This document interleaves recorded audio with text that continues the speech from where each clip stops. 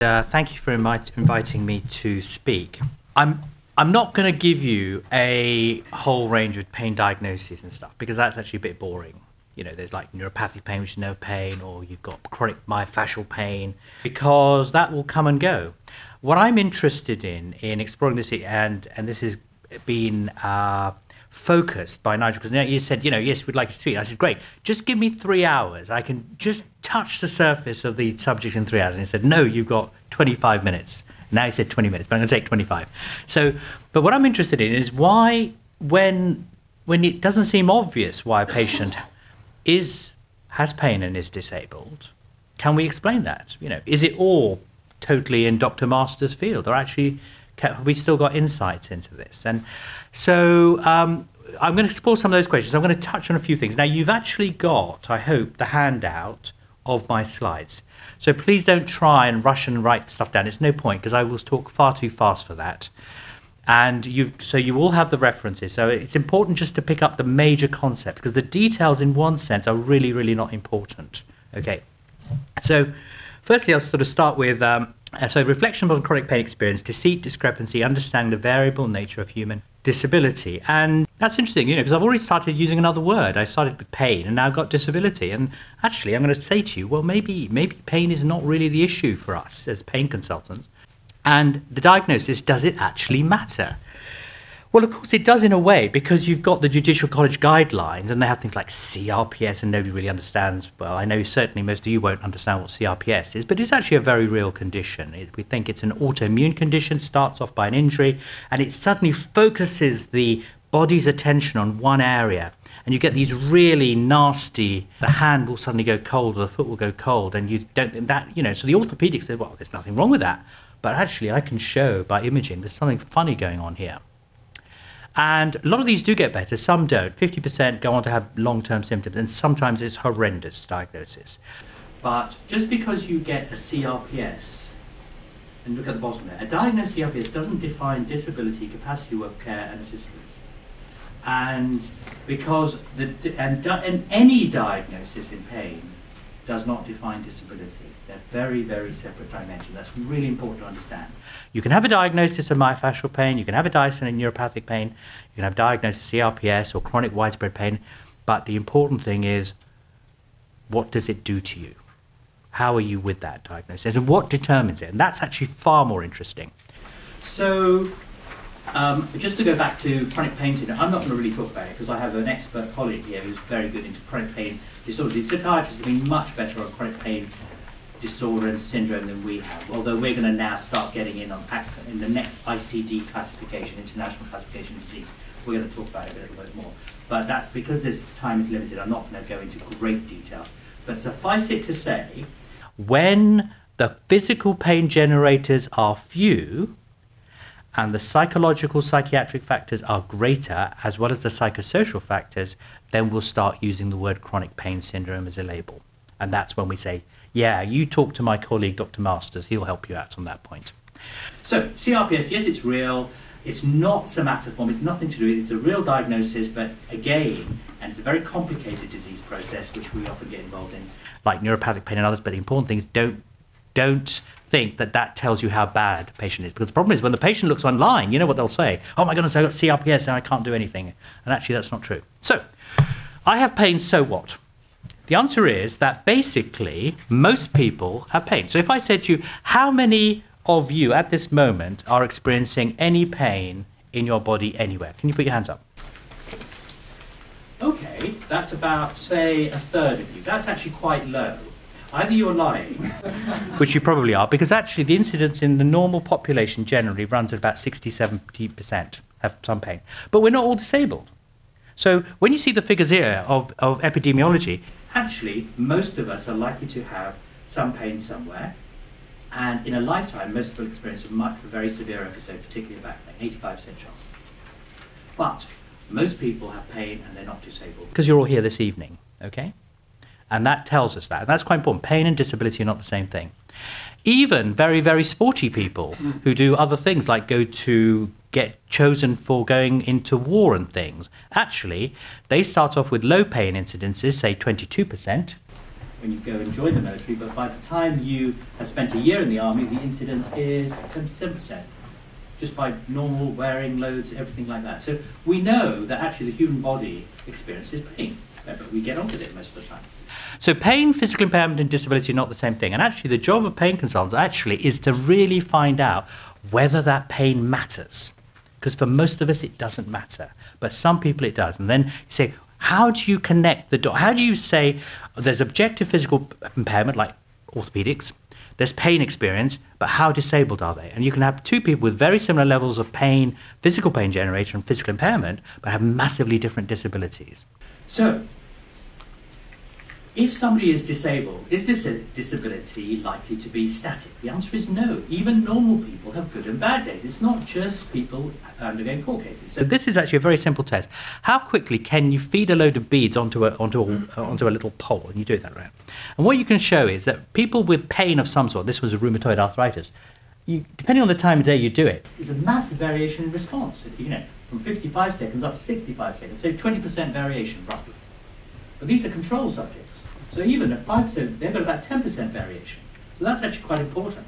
If you look at other, other sorts of conditions, this is something fibromyalgia syndrome, which I went, there's a widespread pain. It's even more dramatic, particularly when you get to looking at things like fatigue. Look at this, from 90 to 110. I said that it doesn't really matter what it's measuring, but look at the variation. You're talking about 20% variation in performance. That's really quite important. So when I say to people, tell me about your pain, I want to know good and bad days, because this may, ma- may matter when you come to surveillance and we're talking about credibility. Because 20%, if you take what we in pain consider a good treatment, it's a 30% reduction. So here we're saying, endogenously, constitutionally, you may have 20% variation in your function. And we think 30% is actually a, a significant change. So you're very close to getting massive changes simply because this is day to day life. There are you know, lots of reasons for this. Uh, I always think that it always dips at around this point because I haven't had enough coffee, you know, and, and you, people feeling a bit low around about lunchtime. So, um, so that's another thing. So pain, and so it's not just how much pain they're experiencing. I mean, I had somebody on Tuesday said, I got terrible pain. It's like I want to chop my hand off and it's so bad I can't do anything. And I said, and so when did this, oh, two years ago because he had this thing. Uh, and then I said, so can you show me some, have you got any pictures of what your hand was like then? Oh yes, and he gets his phone out. So the hand that he feels like chopping off and he can't use, he then starts tapping his phone with to show me the pictures of how bad his hand was then and how terrible it is now. Now, do you see the disconnect? And that is the sort of thing we need to work on. So, this immediately in, is the pain organic? Somebody says, yeah, is it organic or psychological? Well, the answer is we all have physical pain generally. Pain is part of our system. We need pain. Because if you don't have it, you get all these nasty burns and you see people around the country. So we need pain. But when the disability becomes disproportionate, then you start worrying. And you say, right, what are, what are the factors involved? And usually, if, you're, if you have a case that's valuable enough to instruct me, because I'm very expensive, then you must also be instructing a psychiatrist. That's my bottom line. Okay, you've got to get the both in together because if, if, if chronic pain always has a, a psychological psychiatric component. My own preference is for psychiatrists because these patients need treatment. They need treatment not only with psychological therapy, they also need treatment with drugs, often. So you've got to have a doctor who knows what the response to drugs is going to be if you're going to look at prognosis.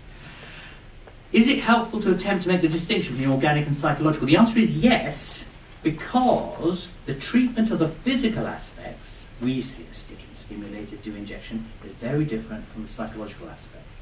You do not treat a psychological problem with a needle unless you're sticking the needle in the brain. Okay? So what I'm saying is that it's important to at least separate out, tease out the different components. How much is physical? How much is psychological? How much is psychosocial? How much actually appears in the presence of the significant other? Because some people are much more disabled in the presence of their partner and spouse who's been looking after them.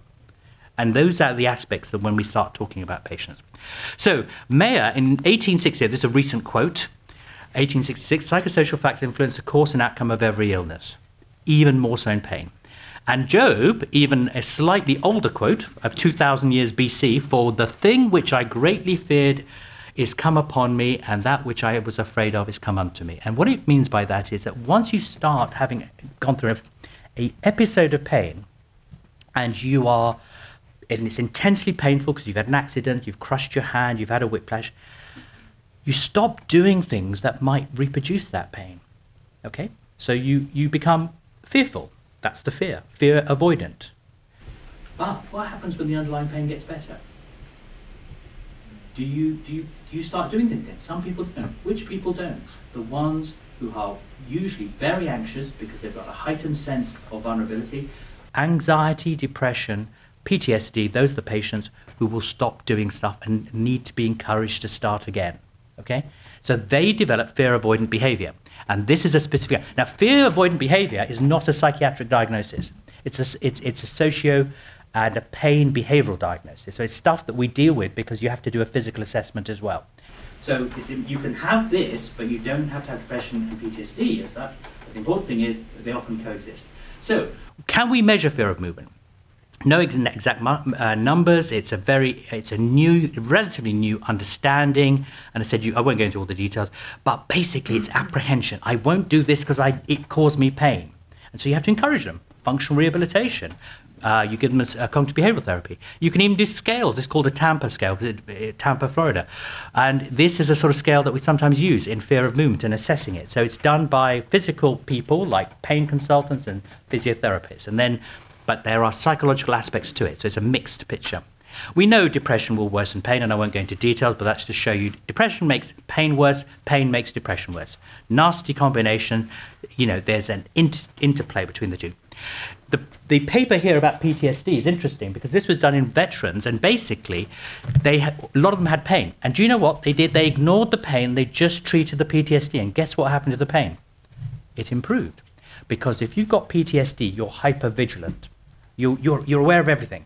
Everything's oh my goodness. You've seen some PTSD patients, and I see a lot. They they focus on all the pains around their body. If you can get the PTSD right down, their experience of pain drops and the disability drops spontaneously. So the first thing I do with PTSD patients is say, let's treat your PTSD and worry about whatever pains you have left at the end of it. Patients in pain who have psychological problems focus on them. They selectively attend to pain related information. They focus on the bad. That means when you ask them how much they can do, guess what? They say, I can do nothing. Well, actually, you know they can do stuff. Does that mean they're malingering? No, because their brain thinks they can't do it. So it's important to actually assess this. Really important because it comes up time and time again when, when the defense will say, oh, they're making it up because they can do this. Actually, a lot of them genuinely do believe that they cannot do stuff. And when they're stressed, they can't, and when they're less stressed, they can. Pain related fear, and this is where it all came to the fear. Pain related fear is more disabling than pain itself. You had a pain, but now you got over the initial pain, the whiplash, the crush injury, da da da but you're so fearful you never really get back to the because you're so you know it's like some you were trapped in prison with the pain and now the door is opened but you're afraid to come out again and so you have to encourage them and help them some people will come out but if you're if you're a psychologically, psychologically damaged individual pre-existing or as a consequence of the accident you will have problems in this area Vulnerability. So it leads us on to vulnerability. Claimants with pain experience often have a history of presenting unexplained physical problems, which will Dinshaw will cover. It's possible. Is it possible to tell with any confidence what level of disability such claims would have had absent the accident? So this is one of Nigel's things. Yeah, spend 30 seconds just telling us about that. Of course, this is a very important field, and the answer is we have actually a bit of data. We know to look for things.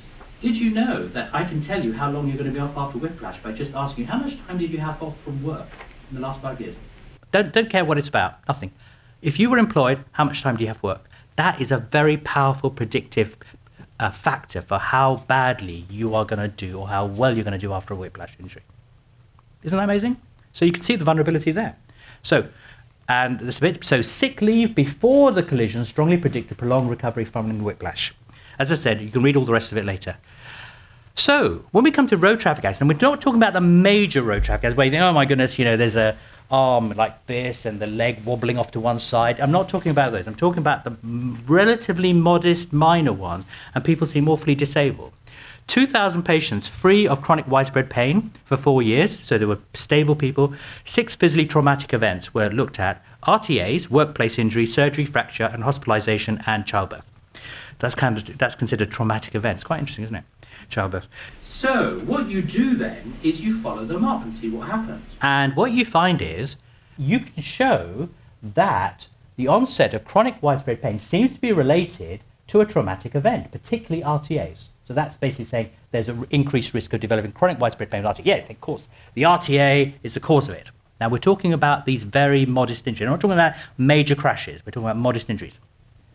But then you start looking at the pre-existing factors like psychological distress pre-existing, anxiety, depression, adverse health behavior, sleep problems pre-existing, and you control for those. So you say, let's put those in the equation. And do you know what you find? For these modest RTAs, you can totally predict which ones are going to get chronic widespread pain after an accident, but it doesn't matter about the accident. The accident determined the timing, but the prediction of whether they were going to get it was all due to these pre-existing factors. Does that make sense? That's very, very important. What it's saying is the accident was a trigger for something that was impending here already. How do I know it's impending and not just latent? Because in the control group, 10 to 15% over those four years developed chronic widespread pain with no trauma. That's one study. The next study. This is basically talking about what, uh, what happened, and you could show that the accident got very little to do with it. I'll, and this is talking about the incidence of chronic widespread pain in Manchester, top 5%, and I'm not going to go into this one actually. But look at this other study. These are people who are just psychologically vulnerable and they develop chronic widespread pain in the absence of any trauma. in this study, over 15 months, 10% did. So look at your patient. Look at the vulnerability. So we can start, we've got statistics there. Will this patient developing disabling low back pain? Okay? Let's look at the factors he found in this study. Health status, psychiatric comorbidity seem to be risk factors. So this in two means doubling, okay? But look at this. Prior history. You know I said how people have low back pain, all of us have it, a bit of it, and it comes, you know, it will come go, and again, that's the epidemiology. Is that a risk factor? Actually, if you've got that non-intrusive low back pain, which is that most people have, like most of the ones who put your hands up here, the answer is no, it's not a risk factor. So, uh, mildly intrusive back pain is not a risk factor, but other factors are. But interestingly, what about the diagnosis of the type of low back pain? Nope, doesn't matter. Types of injury? Nope, doesn't matter. Response to injection therapies that I so you know love? Nope, doesn't matter facet joints, all these things you hear about. Nope, doesn't matter. Controversially, one could say, sorry, it seems to have disappeared off the side, you don't need any biological factors in to be considered in the biopsychosocial model of chronic pain. That's one interpretation. The biological aspect is really small. It's there, it triggered, but after that, disappears. What other factors help you predict about pain? And what you can show is that there are different types of pain. Uh, non-chronic recurrent, chronic regional pain, chronic multi-chronic widespread pain. Each of those, apart from the first, is a risk factor for the other. So you can say if you had any of these before, you're more likely than not to get stuff. You can also show, you say patients, are you, tell me you've had this injury, what do you think is going to happen to you? And do you know what they think is going to happen to them actually happens to them? That which I feared has come upon me.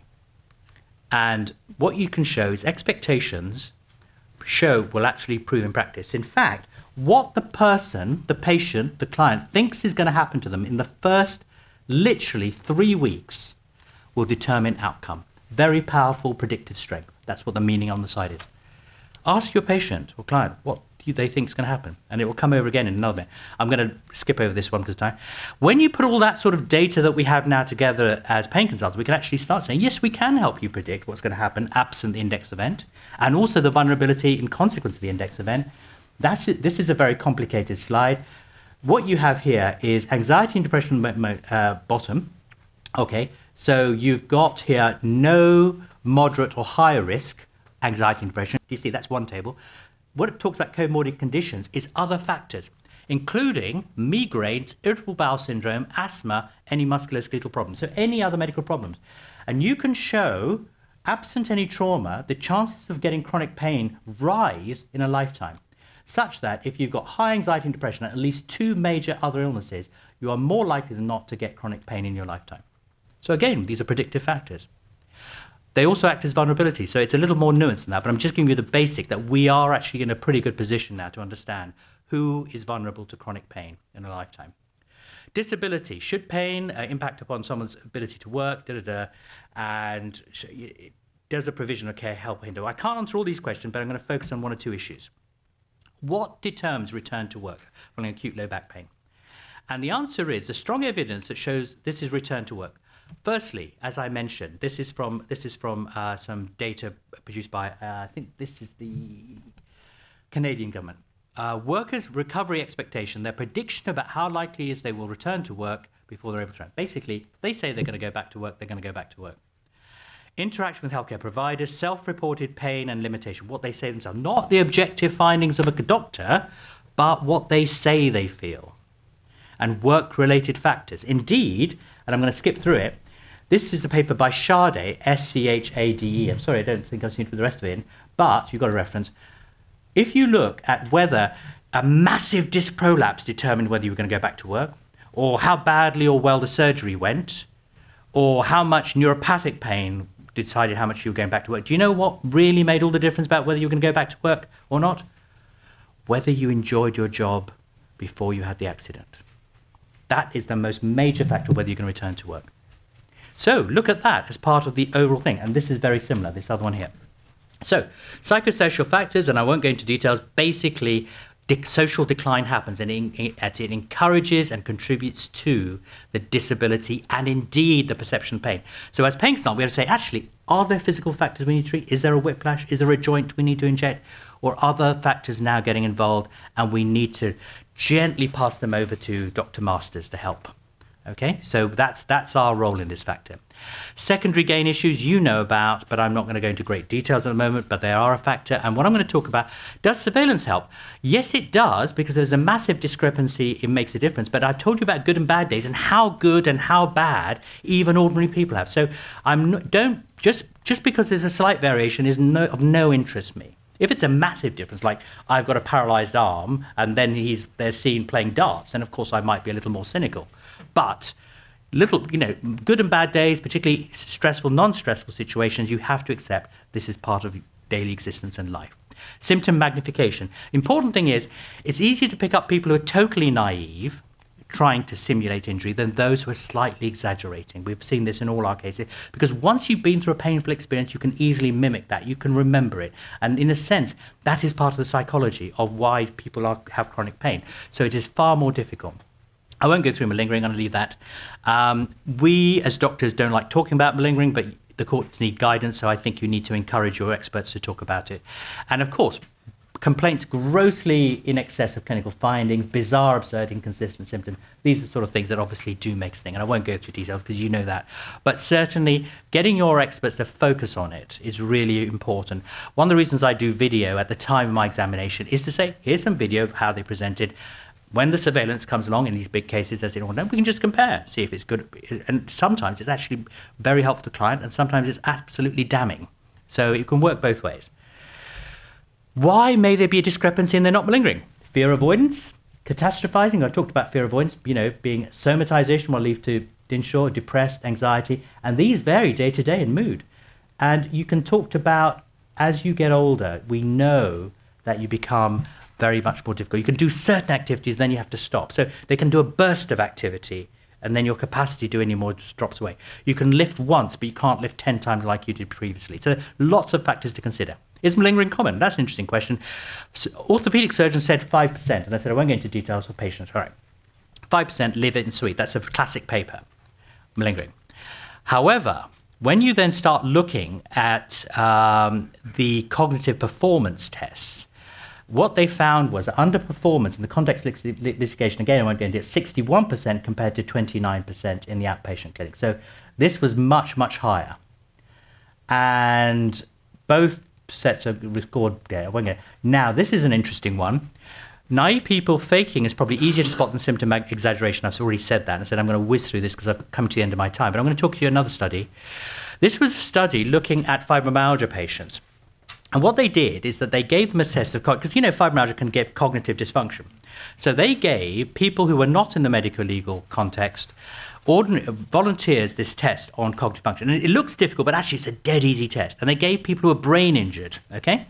And so the brain injured people, really properly brain injured people, doing and scoring an average of 96% correct on this test. So we know it was actually a very simple test, okay? And of course, people like who are, who are sort of healthy controls, 97%. So that's pretty good. You gave it to fibromyalgia patients applying for benefits, and 20 to 40% failed the test. So that gives you an idea of the stress, the financial secondary gain issues that might, that sort of percentage. And I, I always say to people, I estimate, who knows, I estimate about a third of my patients are significantly impaired due to the medico legal process itself. And that would fit with that figure. That means two thirds aren't. So let's look on the positive. But one third are. I think he would say more, wouldn't you? so prevalence of lingering chronic pain pain with cyclo. So basically, 20 and 50 percent is another study I was just going to get because it's actually very rare this sort of pay, these sort of work, but it's 30 percent I think is a very reasonable figure to work on. And I'm going to uh, leave, the, leave this one out because it, I haven't got around. So and the priming of medical expert. This is very naughty of you particularly defendants who say, We think this and this and this, and we want you to examine. Do not prime your expert. It really doesn't help us, okay? You can give a range of opinions, so it's much better to let them come up with their own opinion in these matters, and that's what it's um, negative. This is negative evaluation, and particularly things like pain, because in a sense you have to listen to the patient. Often there are very few physical signs. If you want to hang on to the surveillance and send us a patient, and then throw us a surveillance afterwards and say, "There, you're wrong. You see, you know, you got it all wrong," then fine. But really, don't prime them. How reliable is patient reporting? Well, I did talk about the fact that you have variability in performance, and I did say that depressed and pain, patient, depressed patients focus on their pain, they focus on their disability. That's really important to tease that out so that you're not accused of malingering later. Okay? This is the same paper. Do patients with chronic pain selectively attend to pain-related information? The answer is yes, they do, and they develop fear of movement. They become hypervigilant. They stop going to areas, apart from when they're not stressed, and then suddenly they may relax a bit and do a bit more. And that's, of course, inevitably they get caught out by the surveillance at that point. But if you ask them to think about their daily life, most of the time they are disabled. Okay, the Waddell test, I don't think I've got time to go over this. I'm going to leave all this. And I'm going to leave the disability medicine. So, remember pain is a form of communication. If you've got a significant other in the room who's looking after this disabled patient and she's given up her life or he's given up his life to do so, they're not going to get better easily. We know this is a big problem. And when they do get better, often the, the carer is very angry about it. And this is, and I've seen, we've had patients who basically we've cured, okay? Guess what happens? The relationship splits up. Because I spent five years looking after you, bloody well had these, and why didn't you have these five years ago? You know, da, da, da. So you think they'd be pleased, but they're not because they've lost their role. So it's really important to look at the social interaction. What about employment? The interesting thing is, if you go if you come out, the medico-legal process not working, the chance of you working afterwards is very, very, very small indeed. If you if you are working at the end of the medical legal process, the chance of you working are very are very high. So that means if you're in the process and you're still working, get them back to work. I know people say, "Oh, delay treatment to the end," and that's what Dr. Masters will probably tell you. My feeling is that you do. Yes, it may not be as effective to do the treatment now, but start it sooner and then complete it on the end because we know that if you treat early, you're more likely to get a response. And as time goes on uh, uh, from the injury, the response to any therapy drops away dramatically. I have run out of time, so thank you very much for listening.